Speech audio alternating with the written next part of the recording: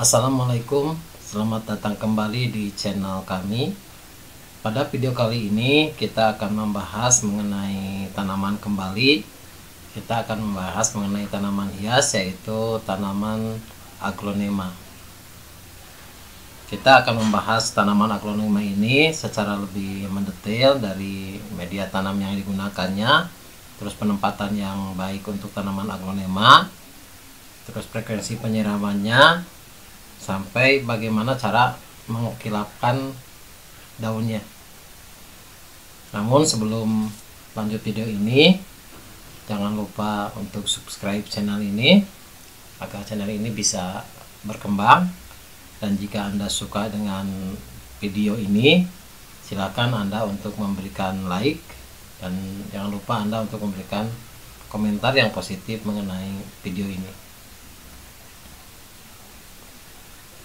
kita akan membahas aglonema ini dari mulai media tanamnya sampai bagaimana cara merawat tanaman aglonema ini. Kita mulai dari media tanam aglonema media tanam aglonema itu kan bermacam-macam ya. Bisa menggunakan tanah bisa menggunakan sekam bakar ataupun mungkin media tanam yang lainnya. Tapi kalau saya pribadi menyarankan bahwa untuk media tanam aglonema ini menggunakan tanah dengan sekam bakar.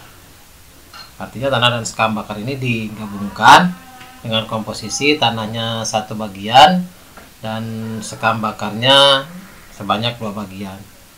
Kemudian dicampurkan secara merata.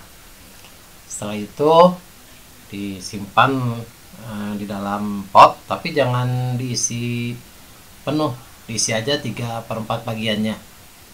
Kemudian tanam nah, tanaman aglonema ini. Untuk yang seperempatnya dapat ditutup dengan menggunakan sekam yang mentah atau sekam yang tidak terbakar sehingga potnya terisi dengan penuh. Dengan media tanam seperti ini berdasarkan pengalaman ini pertumbuhan aglonemanya akan menjadi lebih baik gitu kan dan kualitas daunnya pun juga menjadi lebih baik. Terus untuk setelah media tanah apa setelah tanaman aglonema ini ditanam langkah selanjutnya adalah bagaimana menempatkan tanaman aglonema ini. Jadi untuk menempatkan tanaman aglonema ini sebaiknya ditempatkan di tempat yang tidak terkena sinar matahari langsung.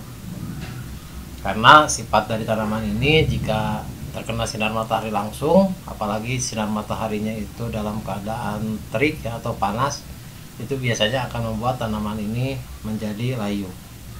Bisa ditempatkan di dalam ruangan ataupun juga di bagian luar ruangan yang teduh gitu kan yang tidak terkena sinar matahari langsung. Untuk selanjutnya yaitu mengenai penyiramannya Meskipun tanaman aglonema ini senang di tempat yang lembab, namun jika terlalu banyak air di dalam media tanamnya akan menyebabkan tanaman ini menjadi busuk gitu kan. Ataupun juga jika tidak disiram dengan baik atau terlambat menyiram, biasanya tanaman ini akan menjadi layu dan kering. Jadi bagaimana sih frekuensi yang ideal untuk penyiraman tanaman ini? Jadi frekuensi yang ideal itu ya harus kita perhatikan dulu dari hmm, tanahnya gitu kan. Apakah terlalu basah atau tidak? Namun saran yang saya rekomendasikan adalah siram sebanyak dua hari sekali dengan menggunakan air yang bersih jadi jangan menggunakan air yang mengandung zat kimia gitu kan seperti kapalit dan yang lain-lainnya. Langkah selanjutnya. Yang perlu diperhatikan untuk tanaman aglonema ini adalah pemupukan. Pemupukan dapat dilakukan dengan menggunakan NPK mutiara. Jadi pemupukan ini dapat dilakukan dengan langsung ditabur di atas media tanamnya ataupun juga dapat dilarutkan di dalam air kemudian disiramkan di media tanahnya. Jadi dua cara itu dapat digunakan gitu kan. Namun saya merekomendasikan agar mudah terserap oleh tanaman aglonema ini sebaiknya pak eh, pupuk NPK ini ditarutkan terlebih dahulu kemudian disiramkan di media tanamnya pemupukan yang ideal ya kurang lebih sekitar dua minggu sekali itu akan menghasilkan tanaman aglonema yang berkualitas Langkah selanjutnya adalah membersihkan gulma pada aglonema. Jadi tanaman gulma ini kan sebenarnya tanaman yang tidak kita harapkan gitu kan, karena itu akan mengambil sari-sari makanan dari tanaman inti atau tanaman yang kita harapkan bisa tumbuh berkembang dengan baik. Jadi mau tak mau tanaman gulma ini harus kita bersihkan, harus kita buang.